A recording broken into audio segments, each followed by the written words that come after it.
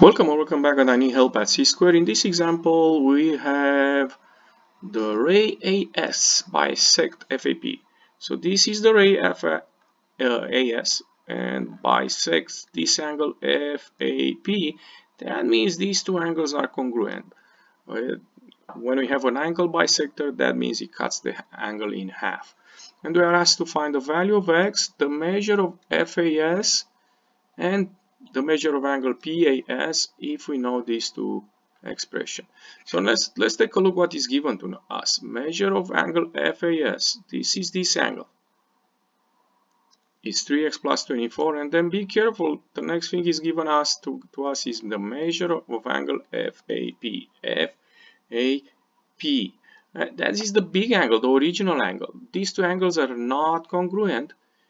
Okay, just these two are congruent in fact, the measure of angle FAP is twice the measure of angle FAS. Why? Because FAS is half of this big angle.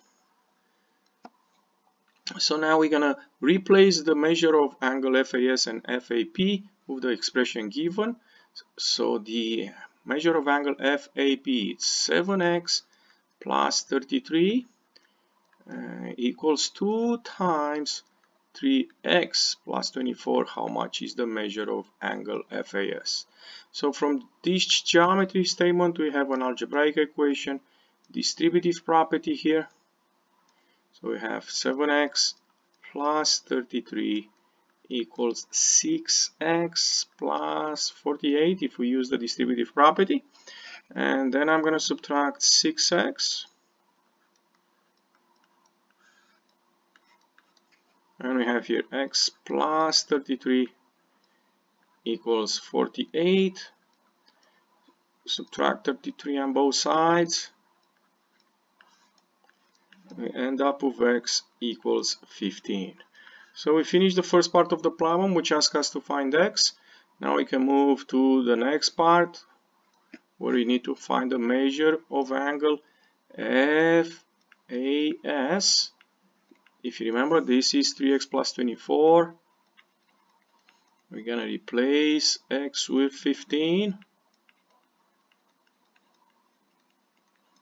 And 3 times 15 is 45 plus 24 that will be uh, 69 degree. That is the measure of angle FAS 69 degree.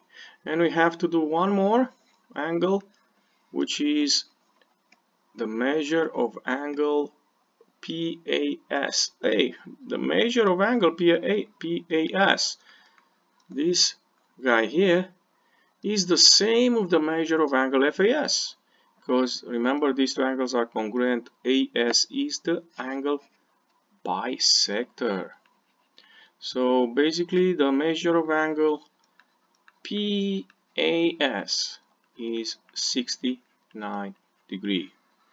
Of course if they ask you the measure of angle which they don't ask us the measure of angle FAP that will be twice 69 so that will be 138 degree. And that's only if you need it.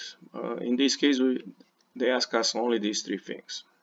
If you enjoyed this video don't forget to click the like button and come back on C-Square for more help. Thank you